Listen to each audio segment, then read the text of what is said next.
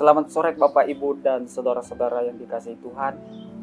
Mari kita mengakhiri hari kerja dan aktivitas kita dengan bersama-sama merenungkan firman Tuhan yang telah dipersiapkan oleh Pendeta Budi Seprianus Tarusu STH.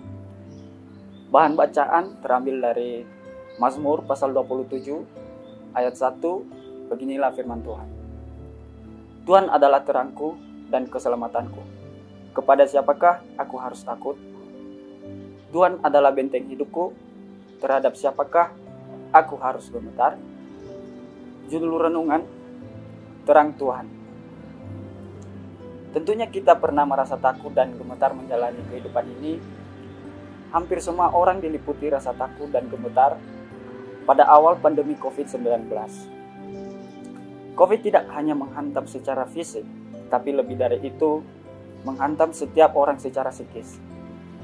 Takut dan gemetar adalah sesuatu yang manusiawi. Tetapi menjalani kehidupan dalam rasa takut dan gemetar yang berlebihan menjadi sesuatu yang perlu ditangani secara serius. Bagi umat Israel, Daud adalah pelita yang menerangi bergelap perjalanan kehidupan mereka. Sebagai pelita, kehadiran Daud selalu menjadi penyemangat ketika umat itu menepaki perjalanan kehidupan mereka. Tetapi dalam kesadaran imannya, Daud mengatakan bahwa Tuhan adalah terangku. Perkataan Daud ini hendak menegaskan bahwa segala hikmat, kekuatan, dan kemampuannya adalah sesuatu yang berasal dari Tuhan. Daud menyadari bahwa dia hanyalah manusia biasa yang mendapatkan anugerah dan pertolongan dari Tuhan. Jika di mata umat Israel, Daud telah menjadi pelita yang menerangi, menuntun, menolong, mengarahkan dan membantu mereka. Itu karena terang Tuhan sendiri yang telah bersinar kepadanya. Jikalau dia dapat memimpin umat itu menghadapi berbagai tantangan dan cobaan, itu semata-mata karena terang Tuhan sendiri yang menuntun. Karena itu, dengan tegas Daud mengatakan, Tuhan adalah terangku. Terang Tuhan telah menuntut Daud sehingga keselamatan selalu berpihak kepadanya. Terang Tuhan selalu hadir membentengi kehidupannya. Hanya karena terang Tuhan itulah Daud tidak merasa takut dan gemetar menghadapi berbagai kemelut hidupnya. Dua hal yang dapat kita petik dari kesaksian Daud saat ini yaitu pertama, setiap orang harus menyadari bahwa capaian prestasi kehidupannya adalah anugerah dari Tuhan.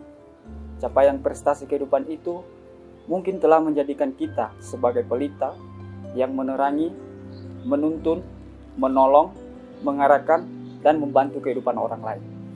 Tetapi sebenarnya semua itu hanya karena terang Tuhan sendiri yang telah menaungi kita. Karena itu, setiap orang harus bersaksi bahwa Tuhan adalah terangku. Kedua, setiap orang harus meyakini bahwa terang yang dari Tuhan adalah terang yang tidak pernah padam. Terang Tuhan itu terus bercahaya, menyinari kehidupan kita. Terang Tuhan yang terus bercahaya itu akan selalu menuntun kita menapaki kehidupan yang penuh kegelapan dan ketidakpastian. Terang Tuhan itu akan menjadi keselamatan dan benteng dalam hidup kita. Terang Tuhan itu akan membantu kita mengendalikan rasa takut dan gemetar menjalani kehidupan ini. Refleksi kita pada sore hari ini Jadikanlah terang Tuhan sebagai penuntun kehidupanmu. Mari kita berdoa. Biarlah terangmu terus menaungi kami, sehingga segala takut dan gemetar diubahkan menjadi jalan penuh sukacita. Amin.